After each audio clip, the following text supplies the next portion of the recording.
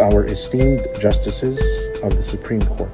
Denggan nyo kuma, daytoy dawat mi. protect my rights, and uphold democracy for our people. The anti-terror law further darkens the atmosphere. It erodes our civil liberties.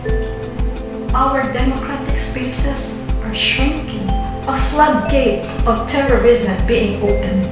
magiging legal na ang arbitrary detention, arbitrary arrest. ang warrant of arrest na hindi nagmumula sa hukuman ay paglabag sa konstitusyon ng Pilipinas. We fear that even our legitimate grievances would be used against us. makahatag og dakong peligro og perjuisyo sa daghang mga kritiko sa gobyerno nga walay laing tuyo mao ang magkinabuhi sa usa ka katilingban nga ligdong ug adunay hustisya, katarungan ug kalinaw.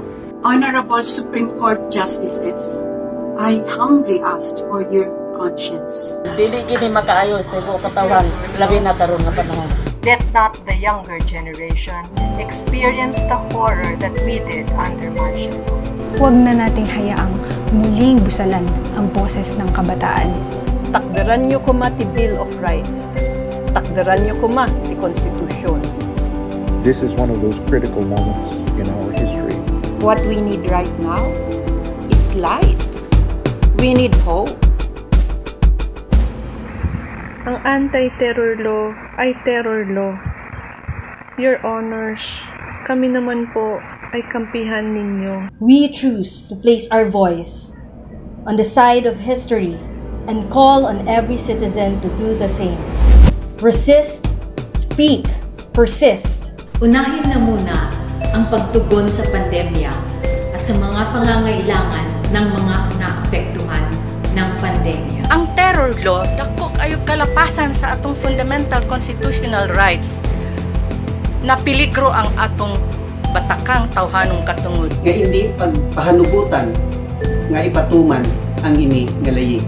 Why would I want another Filipino threatened by this anti-terror law? We respectfully request that your honors do not approve of the anti-terror law. We are depending on you. We need protection of our human rights from abuses of power and authority. Do not allow this anti-terror law to be your legacy to the Filipino people.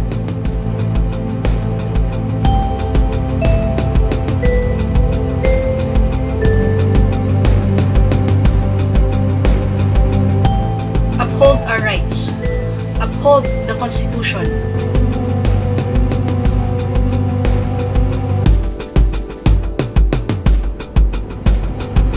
I am one with the fight against tyranny. Never forget, never again. Never again. Never again.